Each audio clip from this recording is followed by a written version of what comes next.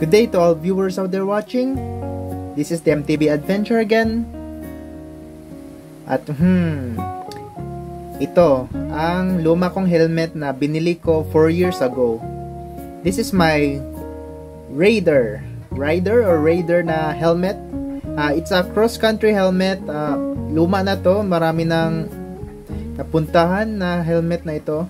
At saka may binili akong bagong helmet. Uh, kakaiba tong helmet na ito kasi talagang kakaiba siya. It, has a unique characteristic. Kaya tara, buksan na natin. Okay, bubuksan ko na tong package na ito. Fast forward lang natin konti kasi medyo matagal yung pagbukas sa package na ito. Ayan, fast forward muna natin. Nakabalot siya ng makapal na bubble wrap. Actually, binili ko to sa Shopee. Itong helmet na ito. At ayan, yan yung let's say tactical helmet. Tactical helmet for cycling. Ayan, uh, buksan natin, tanggalin natin sa, sa cellophane niya at kukunin natin yung mismong product na ito which is a tactical helmet. At saka yung lock niya kakaiba eh. Katulad din siya sa lock ng mga helmet ng mga motor. Yan oh. Ganda. Ganda ng strap at yun may foam. Tsaka may may mat, malambot na foam. Tsaka itong ano yung yung outer layer or yung outer shell parang naka ano yung parang ABS plastic. It's like a hard plastic na very durable talaga. Oh may hook may rails Picatinny rails din siya. Kumbaga lalagyan siya ng mga flashlight or mga let's say mga accessories dyan sa tactical helmet. At saka ito yung ano niya yung owner's manual. Yan. RXR yung brand. Yan yung owner's manual. Kung pa, paano mo let's say yung mga instructions na nakalagay. Overall napakaganda ng helmet na ito. At you know ganda na ganda ng kulay napakapili ko. Ang kulay nito is khaki. Khaki color. Na may pagka desert camouflage ngayon itatry na natin tong tactical helmet cycling tactical cycling helmet. Yan, para mas maganda. Yan, susuot ko na.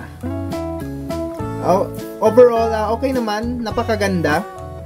Yan, sakto talaga sa size ng ulo ko. Yan, yung side view. Napakaganda. Sundalong sundalo talaga yung itsura.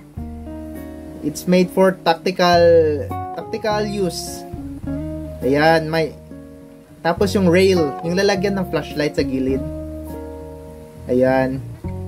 Binili ko to kasi sa, sa tingin ko mas prefer ko to or kailangan din ko din to kasi yung napansin ko sa akin may ano siya camera mount katulad ng inilagay ko sa luma kong helmet tsaka may lalagyan siya uh, rail Picatinny rail lalagyan ng flashlight at saka ito may, may uh, kahit papano may butas for air ventilation kaya, ang kaso nga lang, yung disadvantage nito, wala siyang adjustment sa likod. Katulad ng luma kong helmet. Yun lang yung disadvantage ng helmet na ito. Pero overall, okay naman siya. Itatry natin to. May nilagay ako mga konting mga stickers at saka yung ano niya, yung parang magic tape Bumili ako ng naka-embroider na bike sign.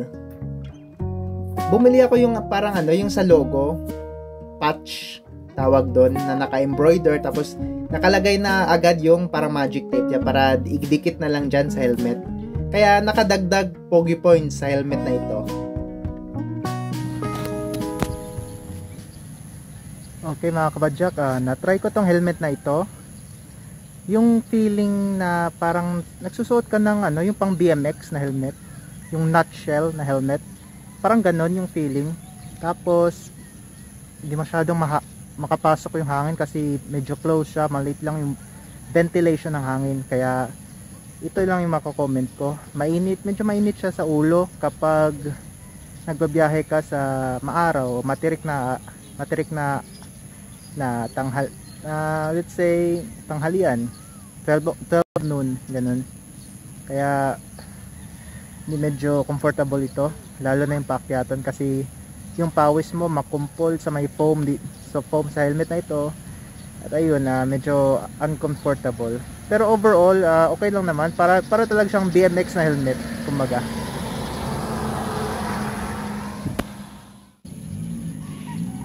ito mga kapadyak yung pawis mo mag mag ma-absorb ng foam na ito.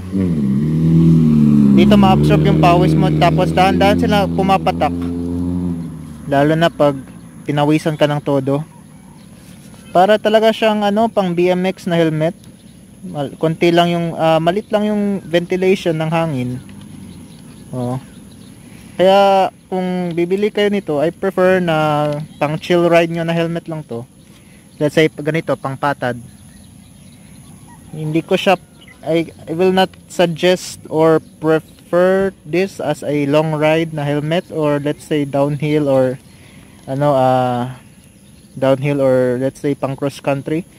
Mas maganda na lang bumili kayo ng ano mas mas maano mas yung talagang pang mountain bike na helmet specific. Kasi yung ganito pang ano lang to eh, pang chill ride na helmet. Oh Or like o pang BMX. Ayun. But overall talaga, I like this helmet na ito. Nakakatuwa tingnan. Thank you so much kapadyak sa panonood ng video na ito. If you like the video, click the like button down below and subscribe sa channel so that you can follow me on my next MTB adventure videos.